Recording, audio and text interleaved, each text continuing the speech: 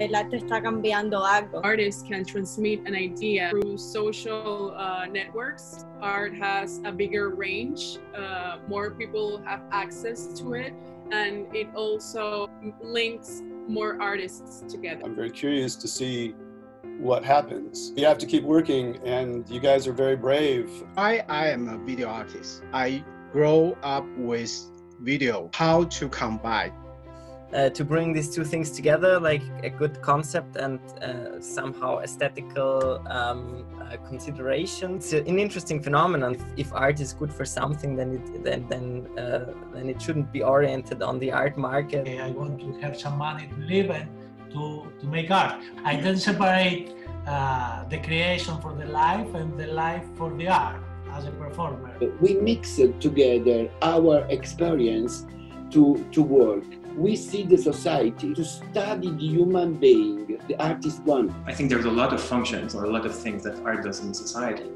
You can bring maybe people to think about certain things or, or offer uh, opportunity for people to think about things. Yeah, to me, the art I'm interested in is a form of thinking. Art really has to always stay sensible to critical points in contemporary society and find ways to provide new perspective.